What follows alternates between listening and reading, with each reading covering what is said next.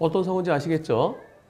즉 흰색 차 한 대가 풀분 유턴하려고 나왔어요. 네, 풀분 유턴하려고 나오는데 저 흰색 차를 보고요. 저 앞에 보면은 빨간 차도 보이긴 보입니다. 흰색 차가 있고 블랙박스에는 이 빨간 차가 보이지만 운전자 눈에 보였을까요? 운전자 눈에는 저게 안 보이죠.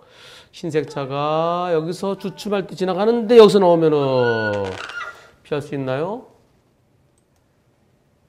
저 차 두 대 일행입니다. 일행. 일행인데 뒤에 차가 covering 해줄 때 앞에 차가 돌라고 그러다가 뒤에 차는 블박차를 보고 멈췄는데 그런데 블박차는 빨간 차를 못 봤죠. 그러니까 흰색 차가 멈추니까 지나가는데 빨간 차 툭 나오다가 꽝. 블박차 잘못 있습니까? 이번 사고는 이렇게 된 겁니다. 여기서요. 나는 정상적으로 잘 가고 있습니다. 여기서 흰색 차가 나와서 여기서 covering 해줄 때 빨간 차가 여기서 이렇게 돌다가 둘 차는 일행이에요. 일행, 일행. 이번 사고 백대영이라는 데서 불만 있으신 분 손 들어보세요. 블박차가 피할 수 있나요? 그런데 상대편 보험사에서 뭐라 그럴까요? 허허 80대 20 주장한다네요. 응? 블박차 보험사도 80대 20이라고요? 야 말이 됩니까? 예. 저게 왜 저러냐면요. 보험사 그 파란 책이요. 도표 252. 거기서 불법 유턴이지만 그러나 실질적으로 진로, 진로 변경 중에도 똑같은 사고가 난다. 불법 유턴 아직 아직 들어가지 않았다. 그러니까 일종의 진로 변경이다. 급차로 변경이다. 그거 70대 30 아니냐. 70대 30대 80대 20까지 해주겠다. 이런 주장을 하는 건데요. 그거 그 표 찢어버리라고 그랬죠. 예.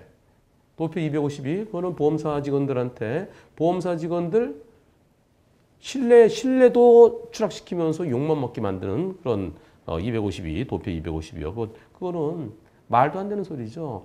이번 사고 당연히 백대영입니다. 백대영이고요. 아, 우리 보험사에서 억울해진 백대영은 없다. 왜 백대영이 없습니까? 바로 이런 게 백대영이죠. 그리고 이런 사건 소송 내가 할 필요 없습니다. 우리 보험사 직원한테 한문철 변호사가 지금 설명해 준 거 보여주고요. 아니, 저, 저, 당신 같은 피할 수 있겠어? 아, 흰색 차만 보여지 빨간 차 보이겠어? 빨간 차 블랙박스 찾아보니까 숨은 그림 찾기에서 나온 거죠. 안 보입니다. 네. 당연한 백대영이니까 아, 반드시 저건 그리고 분심이 거치지 마세요. 분심이 가면 사건이 망해질 수 있습니다. 분심이 가지 말고요. 곧바로 소송 가고 어, 백대영 판결 받으러 그러시고요. 한문철 TV 3,300회에 보면은 분심이 거치지 않고 소송 가는 방법에 대해서 제가 잘 설명해 놨습니다. 백대영입니다.